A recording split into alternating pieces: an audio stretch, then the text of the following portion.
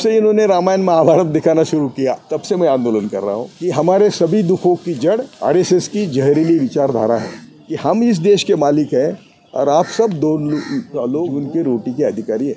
इतने पैसे आए, गए कहाँ? तुम चंदा ले, हम पैसे देते। तो सभी जगह बीजेपी के फाइव स्टार ऑफिसेस बने। एक करोड़ का इनकम था, वो सौ करोड़ दे रही है। इनको बॉन्ड में परचेस कर रही है तो पैसे कहाँ से? अपना काला धन वाइट करने के लिए किया है। जो शक्ति हमें मालूम नहीं, वो शक्ति काम कर रहे, उसको हम डीप स्टेट कहते हैं। डीप स्टेट का मतलब है, हम जो मोदी शाह का कारोबार देखते हैं कोर्ट देखते हैं, या जो हर दिन देखते हैं, उससे अलग तरह का स्टेट काम कर रहा है। और वो मैं 1976 से कह रहा हूँ कि हमारे सभी दुखों की जड़ आरएसएस की जहरीली विचारधारा है। सभी की, हिंदू हो और बाकी जो हम सब जिनका प्रतिनिधित्व करते हैं, दलित हो, मुस्लिम हो, सबको ये डीप स्टेट रात दिन सताता है। मैंने कई बार उल्लेख भी किया, अभी भी मेरे पास डॉक्यूमेंट है। उनका लिखित है, तिलक, सावरकर और गोलवलकर। उनका लिखित है कि हम इस देश के मालिक हैं और आप सब दो लोग दो जून के रोटी के अधिकारी हैं। लिखित है।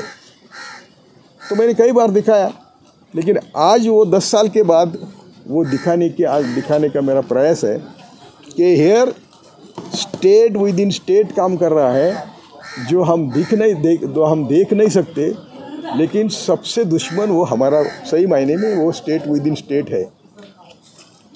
वो स्टेट विद इन स्टेट की का जानकारी आप लोगों को आपके माध्यम से मैं सभी भारतीयों को विनती करता हूँ कि समझ लीजिए कि जो आप देख रहे हैं वो नहीं, दूसरी एजेंसियाँ काम कर रही है, जिसको राहुल ने शक्तियाँ बताई थी, उसका मोदी ने गलत अर्थ उठा के हिंदी, हिंदू हिंदू में लेडीज़ को कहा, अभी लेडीज़ के बारे में मोदी क्या कर रहे हैं, हर दिन आप जानते हैं।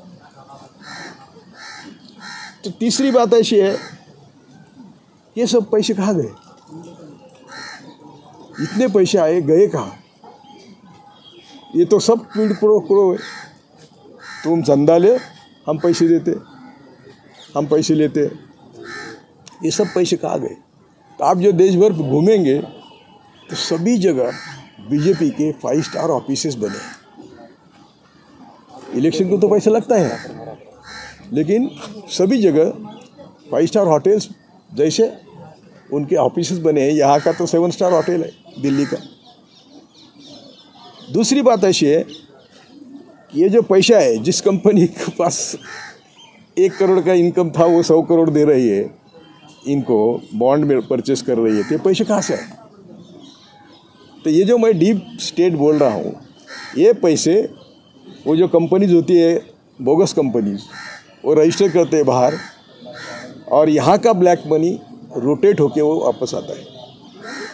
तो ये जो कंपनियों ने डोनेशन दिया जिनके बैलेंस शीट में प्रॉफिट ही नहीं, लेकिन देते हैं तो वो सब इन्होंने अपना काला धन वाइट करने के लिए किया है।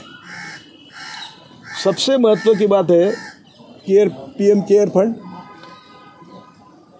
PM care fund सबको मालूम है कि ये सबके किसे में से सैलरी गई है, बाकी भी गया है।